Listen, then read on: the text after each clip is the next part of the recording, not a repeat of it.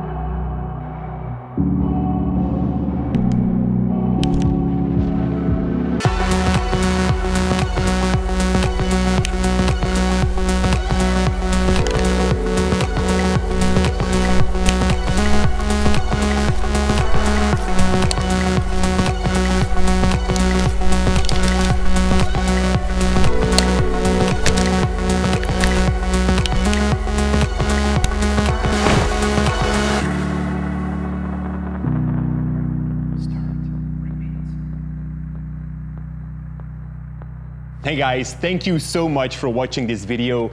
It's a little side project that I've been working on for the past couple of weeks, and I know that it is a little bit different than what I usually do, but I really do hope that it's kind of inspired you. Um, now, I truly want to thank Adobe for the collaboration on this project. If you would like to know how I created some of the effects from this video, well then definitely make sure to go to the tutorial playlist by clicking in the card up there. You'll also find a card right here on my left and also a link in the description below to that playlist. Also guys, check out the Adobe Creative Cloud channel further as they publish a bunch of tutorials that I can highly recommend to check out. So also make sure to subscribe to them. Thanks again for watching guys and as always, stay creative.